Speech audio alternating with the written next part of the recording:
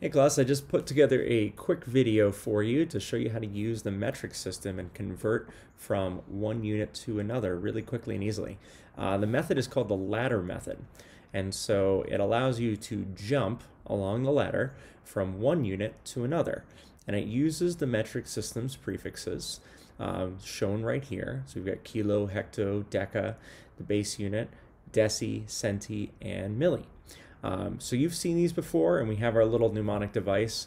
King Henry died by drinking chocolate milk uh, to help you remember those. And if you can write them out, then you're going to be able to use this method really quickly to be able to convert from one unit to another. So basically, here is my technique. And it's not really my technique. A lot of people use this. First step is you want to just write out the number that you're going to be trying to convert, including the decimal point because when you convert in metric, all you do is you move the decimal point. So all you need to figure out is how far to move it and whether you're moving it to the left or to the right. And with that simple thing, you'll be able to convert from any one unit to any other one. So you first write it out with the decimal point. So I'm to write out, in this case, 1500.0. I've got my decimal point in there. We have to identify the starting unit and the ending unit. And I'm converting from milliliters to regular liters. So milli to the base. So I've identified the units, and now I need to count the number of steps that I'm going to move left or right. So if I go from milli to the base, I jump one, two, three steps to the left. And I'm going to move that the decimal point that many steps and in that direction. So watch, my decimal point is right here, and I'm gonna move it one, two, three. And I'm gonna put that decimal point in its new spot. And now I have, instead of 1500 milliliters, I have 1.5 liters. It is that simple in the metric system. So 1500 milliliters is equal to 1.5 liters. Let's try another one. Okay, so I'm starting with 1.34 kilograms, and I'm converting this into grams. So I wrote out the number with the decimal point. I'm going to identify the starting unit and the ending unit. So the starting unit is kilograms. Kilo is right over here. And the ending unit is grams. That is our base. So now I need to count how many steps and whether I'm moving left or right. So kilo, one, two, three, three jumps to the right. So here's our decimal point, and I need to jump it three times to the right. So watch. Here's one jump, two jumps. I need to add a zero. So one jump, two jumps, three jumps.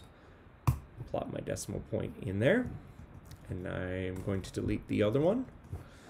So this is now, instead of 1.34 kilograms, I now have 1,340 grams. And I just put that decimal point in the air there in the end so that you can see what I'm talking about here. And I'm going to put my answer up here, 1340 grams. Okay, let's try another one.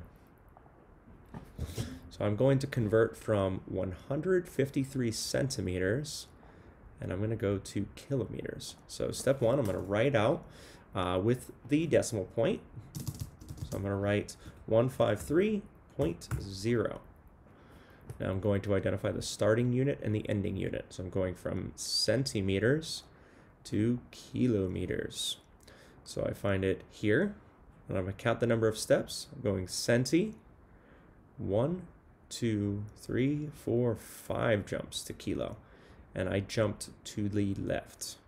So I have to jump this five jumps to the left. So here it is. Ready? One, two, three, four, five jumps. And just double check. Here's where it was. One, two, three, four, five jumps. That was a lot of jumps. So now I am left with 0 0.0153 kilometers.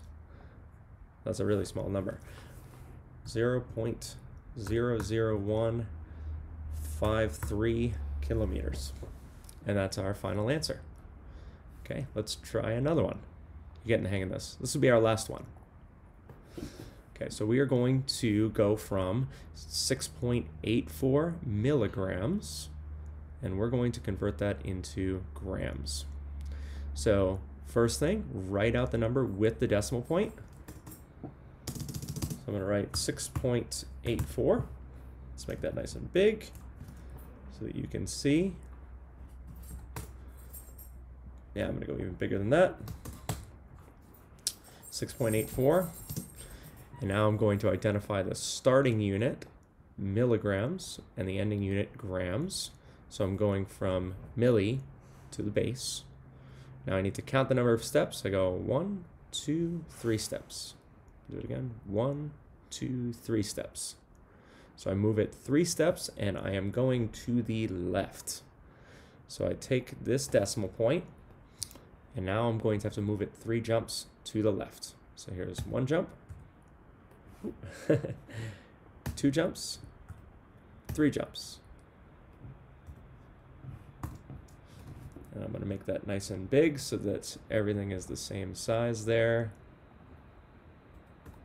There. And let's double check that I actually moved it three jumps. Here's where it was.